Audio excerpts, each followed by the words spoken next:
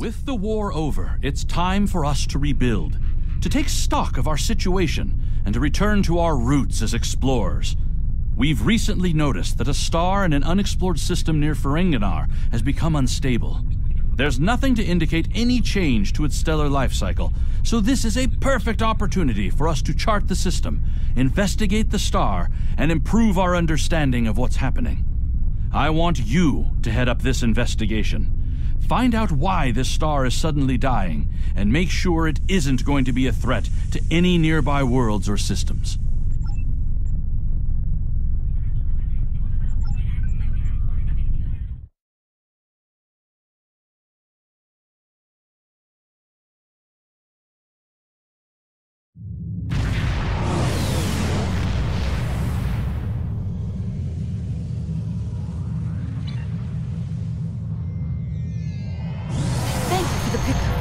I'm Tenora Zuval. Let's get started. My preliminary observations show some kind of unknown stellar problem. This unexplored system near Ferenginar is undergoing solar death. Basically, it's as if the star is going out suddenly, but there's no good reason why. We need to get close enough to take some readings and see what we can figure out.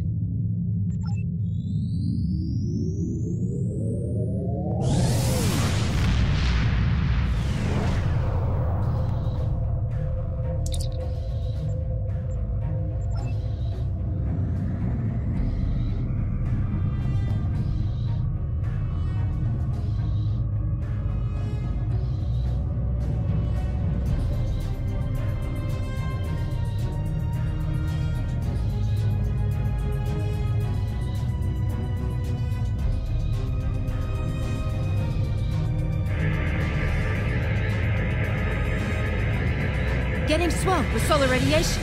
Try reducing the gain on your sensors.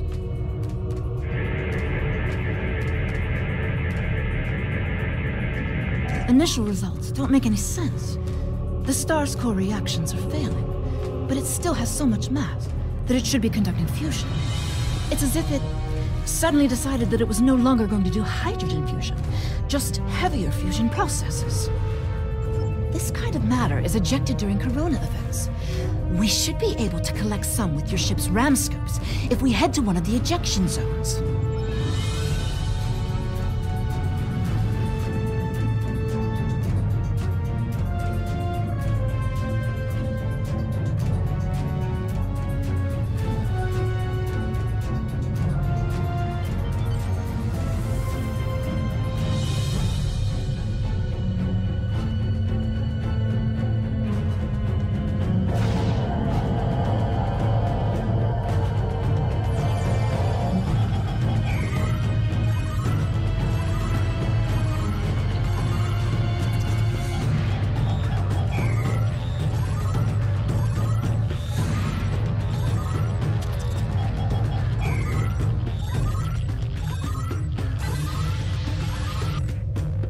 Results are coming in now. This still isn't making any sense. It's as if the star's life cycle was suddenly accelerated somehow, but it never went through an expansion cycle. There's no good explanation for this yet. Maybe something else in the system caused it. If this is system-wide, we should find evidence of similar problems, with nuclear and chemical reactions in the system's gaseous bodies. There's a large amount of gaseous stellar matter further from the star. We should have no trouble checking that hypothesis.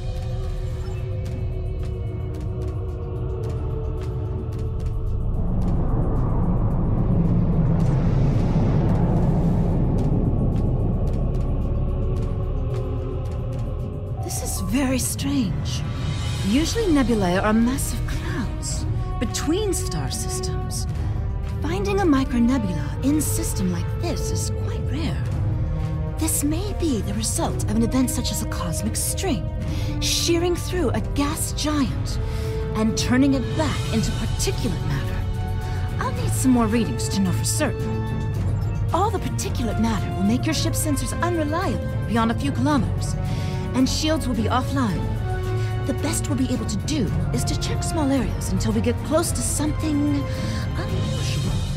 We should head to where the deionized particle density is highest.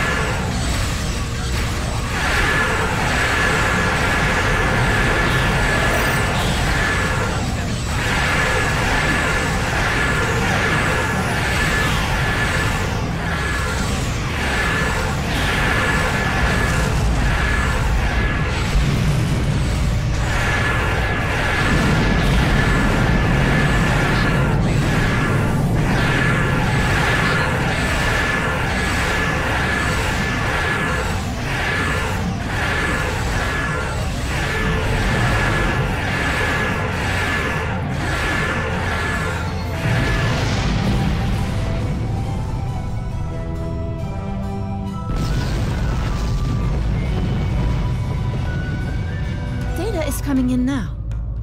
Nothing unusual coming in from the nebula, but those Tholian ships were quite far from home. Unfortunately, they can't give us answers. Looks like there's some heavy ionization on the far side of the nebula, though. As if it's receiving some kind of reflected radiation from one of the gas giants.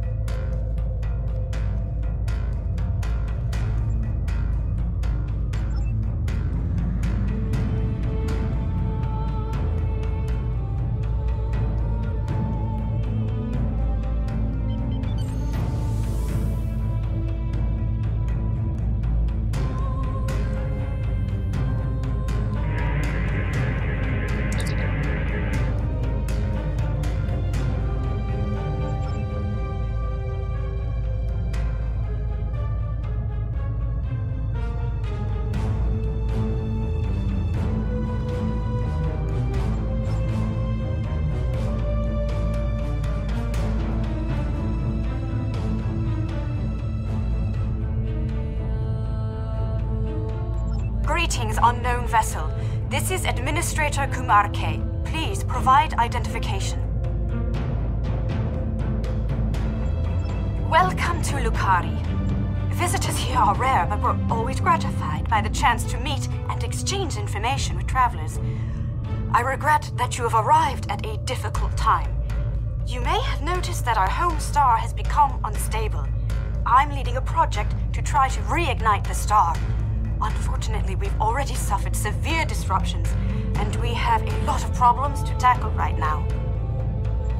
Yes, we've previously had contact with the Zenkethi and the Ferengi. We've heard a bit about the Deferi and the Breen, but they haven't ever been to our system.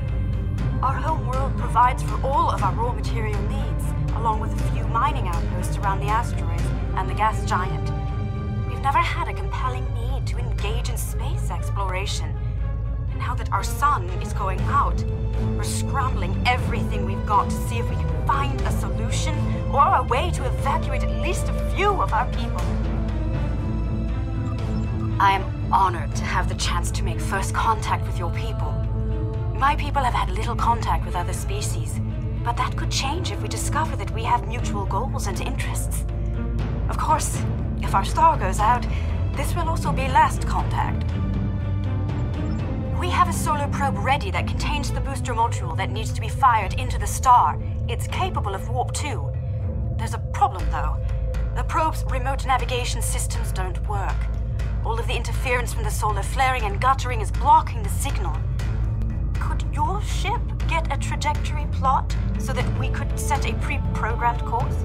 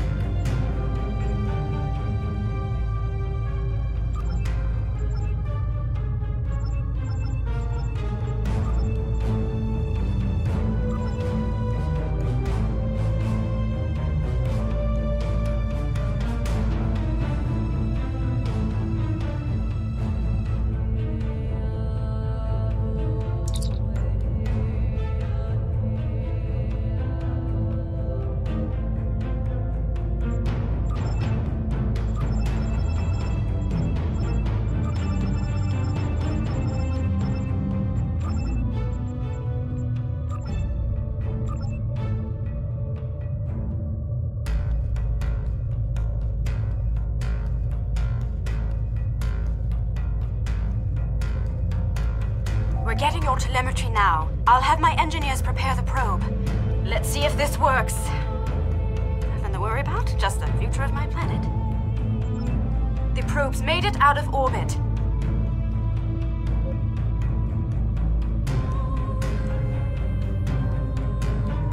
Engaging secondary boosters to head out of planetary range.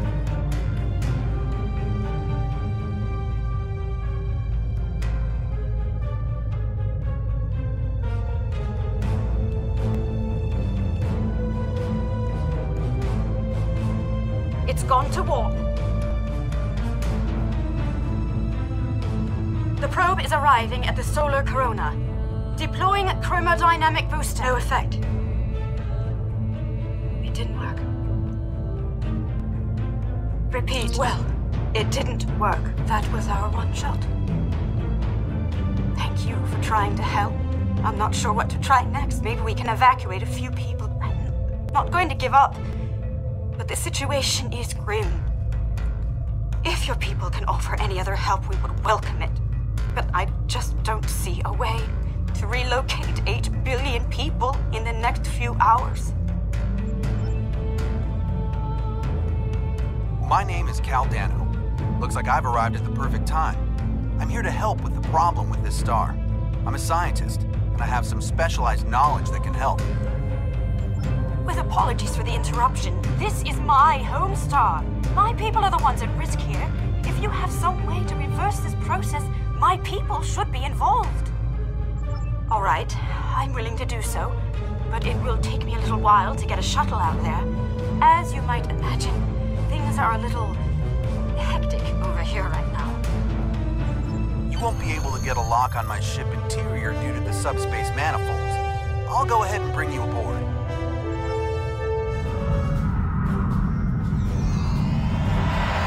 Welcome aboard. I'm Kal Dano. Moved me here without crossing the intervening space. You have quantum teleportation technology. Yes, we call it a transporter. It has a limited range, but it's useful for going from surface to ship. Impossible! This, this ship's interior is massive, even though it's no bigger than a shuttle. My ship uses compactified subspace folds. It's bigger on the inside.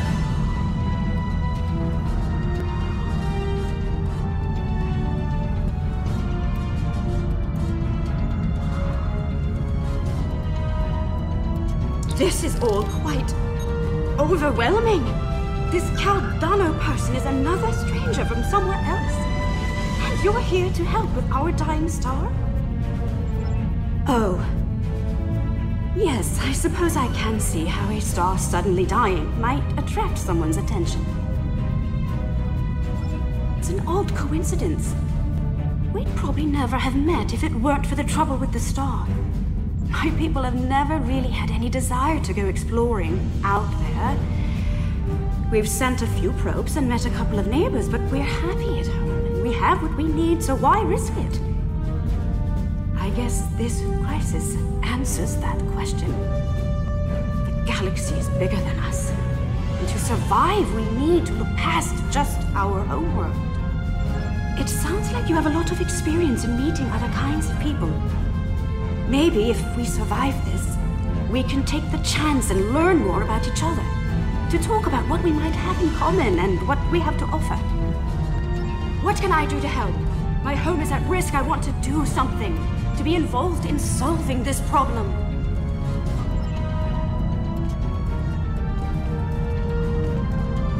Welcome to my ship. Don't be alarmed. This vessel is from the 31st century and it has some technology you may not recognize yet. I can assure you, though, that I'm here to help. Correct. I'm associated with a temporal division of, well, let's just say that I'm an ally from the future, and I'm here to save the Lukari Star. No, no, I'm trying to prevent changes. Someone's tampered with this star. It's not supposed to die out here. The Lukari don't disappear today. At least not if we have any say in it. I have some technology that can help, but we'll need to rework it in order to repair the star's fusion processes. What I need you to do is to help me align this matrix to match the star's original spectrum. I'll regulate the device's main power state from this console.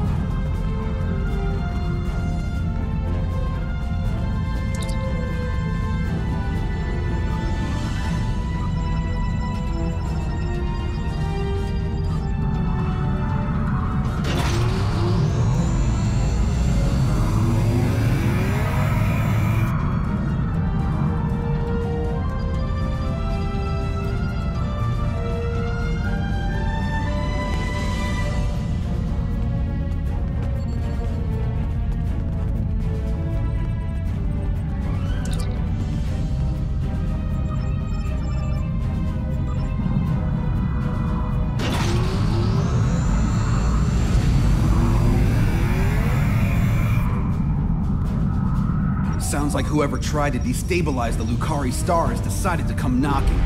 Let's see who. They're packing a real wallop. Shields just went down. We have incoming! What are those things?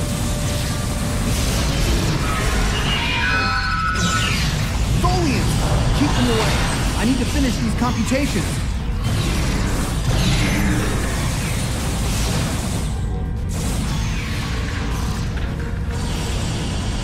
I have the device shielded in a force field, but I can't deploy it until these Tholians are out of the way.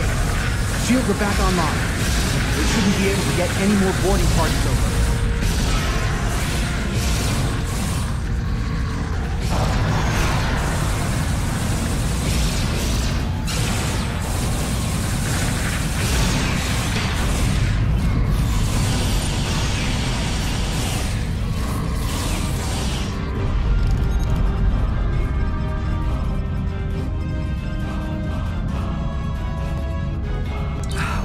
either. Now I just have to charge the device and prepare it for use. In just a few minutes, it'll propagate a quantum wave shift that should correct the star's stalled fusion process. You should head back to your ship, and I'll send the administrator back home.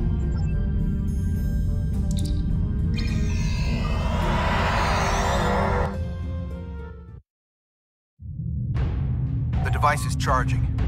We're just a few minutes away from repairing the star give us the task you doubted.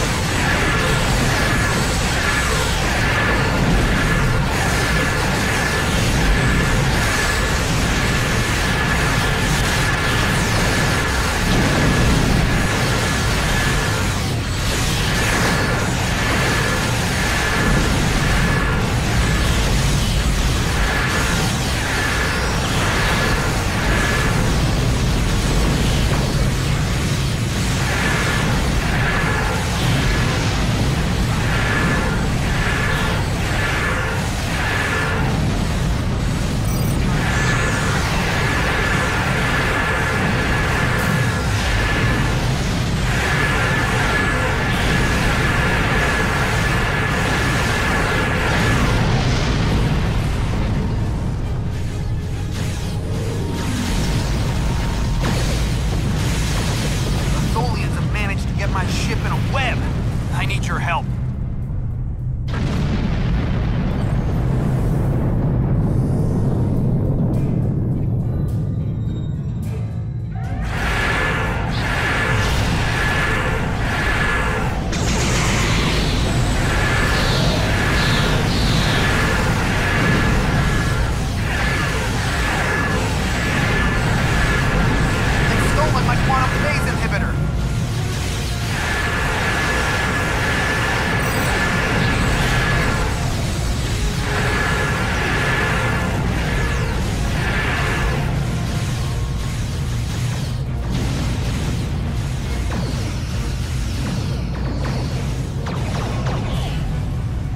Save, but the Tholians managed to steal the Tox while they had my ship webbed.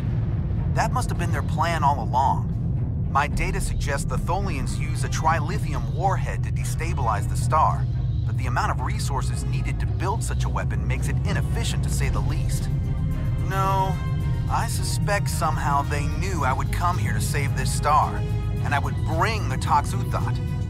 Fortunately, the Lukari star is safe. However, nobody else will be, as long as the Tholians have that device. They can use it to snuff out or destabilize stars anywhere they want. I have some thoughts on that, but I will need to do some calculations.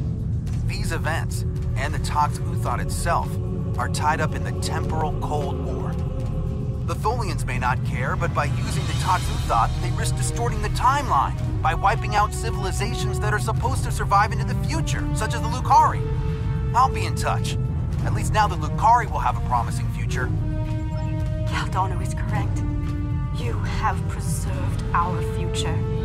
My people will be forever grateful. Not to mention my personal gratitude, of course. I think we have a bright future ahead of us, if you'll forgive my play on words. I am eager to see where it leads. Thank you once again. I wish I could ask you about your science, your trade, your society. I suppose there will be time for all of that now that our crisis has been averted. Oh, I think our friend the administrator here is going to need a ride home. Would you mind?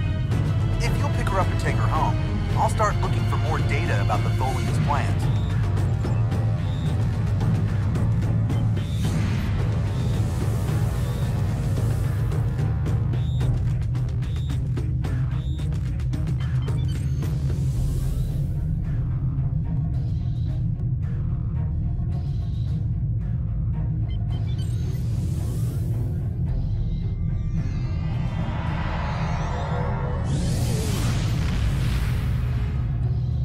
Collected an amazing amount of information about what happened to this star.